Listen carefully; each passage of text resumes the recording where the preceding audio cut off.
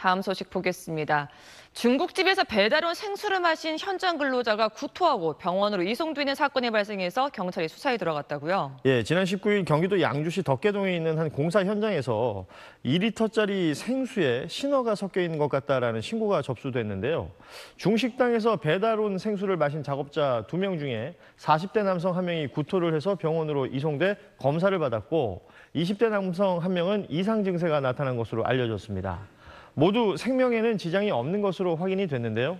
경찰은 중식당 주인으로부터 재활용 처리장에서 이상한 액체가 담긴 빈 병을 주워서 재활용했다라는 내용의 진술을 확보하고 중식당을 압수수색하는 한편 액체의 성분을 분석하는 등 정확한 사건 경위를 파악하고 있습니다.